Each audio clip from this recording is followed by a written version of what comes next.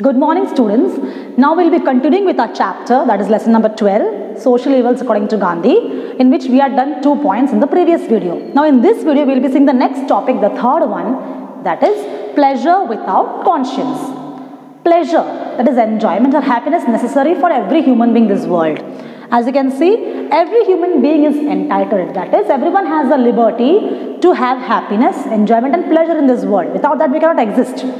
According to Jewish book Talmud, Talmud is a Jewish book in which it is written, in the end of the world, God will ask each one of us to give an account of the permissible pleasures we did not enjoy.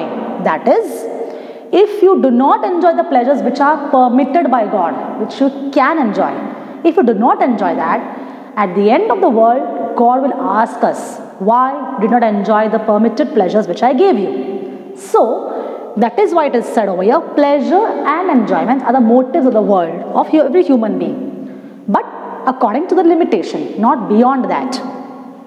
So that is why we celebrate religious festivals, national festivals, so that we can prop up our spirit and enthusiasm, but in the right way. Without ethics, if you enjoy, without ethics means without the rules which are to be followed in society, positivity. If you do something, if you enjoy your life without ethics, without manners, without decency, then it is known as a crime. Crime is wrongdoing or enjoying life without ethics, without any moral values. If you enjoy, it is a crime. Every man has a right to enjoy. Every man has a right to enjoy with his fellow being, with his friends, with his family, with his relatives. And pleasure without ethics is a great sin. If you have pleasure with your other human beings in doing something which is wrong, that is, if you are doing a crime, then you are committing a great sin. Now, Gandhiji says, It has been a mystery to me how men can feel themselves honored by the humiliation of their fellow human beings.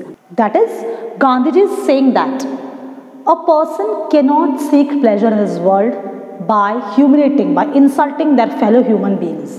Why? Because it is the sacrifice of a human dignity. You should never tease others or humiliate others.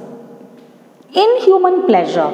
Students hear the word inhuman pleasure means pleasure or happiness or enjoyment done in a way which is violating others' human dignity. Others' dignity is being lost. If you are enjoying in such a way, it is a wrong thing.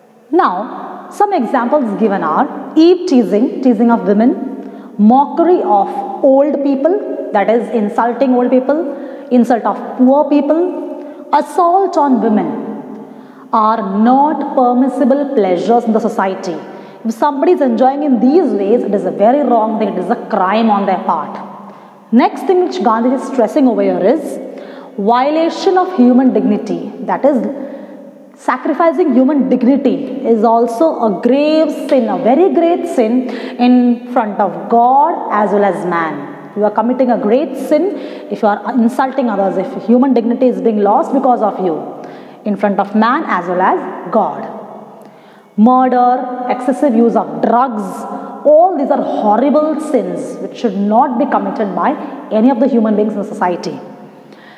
For children like you, the grave sins which can commit are excessive use of TV, excessive watching of entertainment programs, sacrificing your time of study and work for other things which are useless, and demanding sophisticated and costly things from your parents, even if our parents are not rich. You should not demand sophisticated and luxurious, costly things from your parents because for us it is a serious social sin. All these are serious social sins. So according to Gandhiji, all these are the worst forms of social sins committed by a human being. Now we'll come to the next point that is the fourth one, knowledge without character. Now students, it's very important to acquire knowledge in this world. But alongside that, it is also important to have a good character in our lives. Without character formation, it is useless even if we have lots of knowledge with you. According to Gandhiji, paramount importance should be given to a person's character. That is much importance. Utmost importance should be given to one's character. well mannered person is always accepted in society. So, even Gandhiji had acquired much knowledge through various kinds of discipline of knowledge. But he wanted man, a human being, to acquire knowledge. Along with that, he wanted to have a good character with that. That is why the topic here is knowledge should be there with character, not without character. And if a man uses his knowledge to exploit the poor and the weak, then such a man is not of a good character. Even if you are very rich and even if you have much knowledge, but if you are exploiting the poor and the weak, then you are a characterless person. For example, cricketers, great cricketers, they fix matches and in that way they earn money. So that example is of a person who is having knowledge without character Second example given in textbook is of doctors who remove and sell kidneys of poor patients. They are persons who have knowledge but without character. These are some examples given in a textbook. So Gandhiji did not approve such people. As I put a cross over here to show that Gandhiji did not approve such people. He told that if you have knowledge, you should have a good character along with that. A good doctor or a good teacher can be good. He can be knowledgeable, but he is bad if his character is not good. So that is why Gandhi stresses on the point that a good person is a person who is good according to his character, not a good professional. That is why he concludes in this way. Instead of being a good professional, you try to be a good person. That is, you try to be a person with a good character. If you are a professional, you should have knowledge with you, but along with that, you should have a good character. The same way it applies for the whole society.